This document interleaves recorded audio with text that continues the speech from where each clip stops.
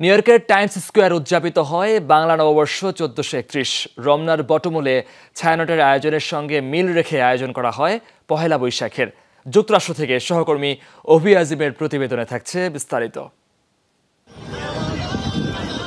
Time স্কোয়ারের সহস্র কণ্ঠে বিশ্ব বাঙালির বর্ষবরণ অনুষ্ঠানে যোগ দেন হাজারো প্রবাসী বাঙালি। শনিবার স্থানীয় সময় বিকেল থেকে শুরু হয় অনুষ্ঠান। বর্ণিল এই আয়োজনে অংশ নেয় বাংলাদেশ ভারত নেপাল ভুটান থাইল্যান্ড শ্রীলঙ্কা সহ দক্ষিণ এশিয়ার আটটি দেশের কূটনীতিকরা।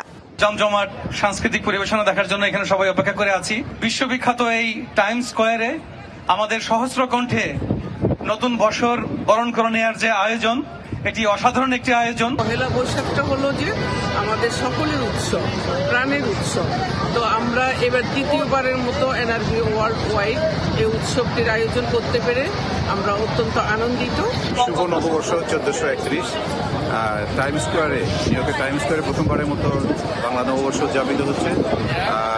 সেজন্য আমরা অত্যন্ত আনন্দিত বর্ষবরণ উপলক্ষে আয়োজন করা হয় মনজ্ঞ সাংস্কৃতিক অনুষ্ঠান যেখানে অংশ নেন প্রবাসী শিল্পীরা। নতুন বছরকে আপনাদের সবাইকে সঙ্গে নিয়ে বরণ করে নিতে যাচ্ছি। আয়োজকরা জানান ভবিষ্যতে আরও বড় পরিসরে বর্ষবরণ করার পরিকল্পনা তাদের। তাজরিয়ান সোভান যমুনা নিউজ।